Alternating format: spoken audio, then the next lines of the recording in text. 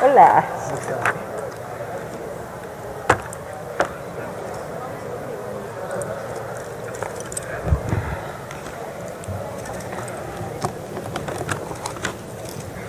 Con su venia, señor presidente.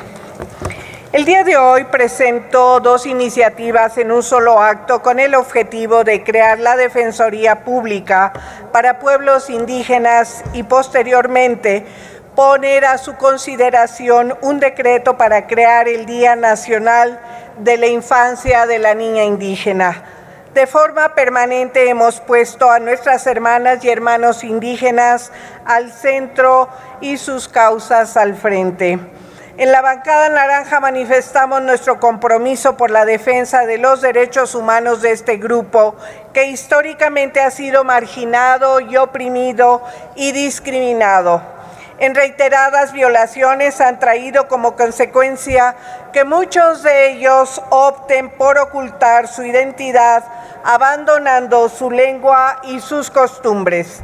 En México existen 24.4 millones de personas de tres años y más que se autorreconocen como indígenas, el cual representa el 21.5% de la población total. Somos un país pluricultural y formamos parte de la Convención Nacional de Naciones Unidas sobre los Derechos de los Pueblos Indígenas. Sin embargo, nuestra población indígena sigue enfrentando numerosos desafíos que reproducen su situación de vulnerabilidad y exclusión.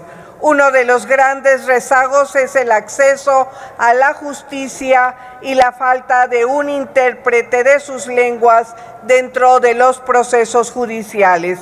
El Instituto Federal de la Defensoría Pública únicamente cuenta con 25 abogados y, 25, y 21 oficiales administrativos para atenderlos.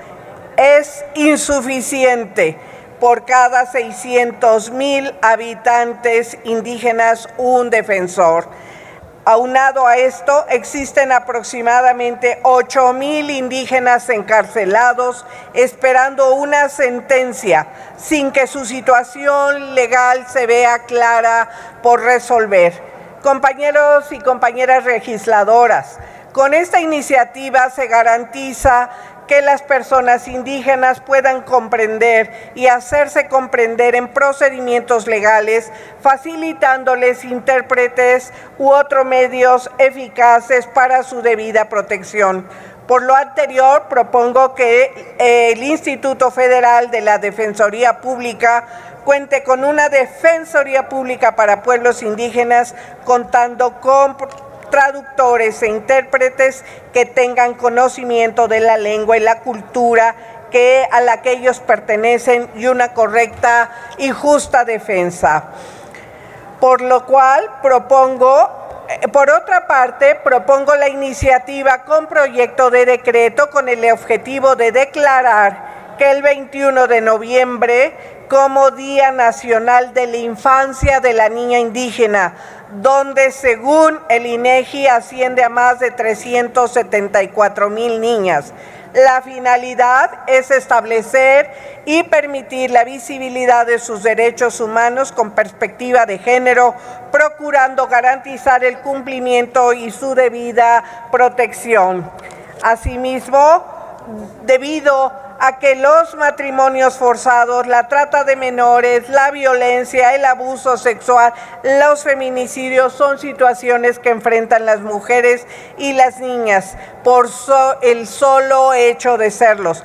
Y no se trata solo de denunciar estos agravios. Lo más importante es que esta iniciativa se pretende reconocer la importancia que tienen las niñas indígenas en la vida activa de las familias, de sus comunidades. Eh, son depositarias para conservar las tradiciones culturales de salud como la herbolaria, asimismo de las tradiciones alimentarias.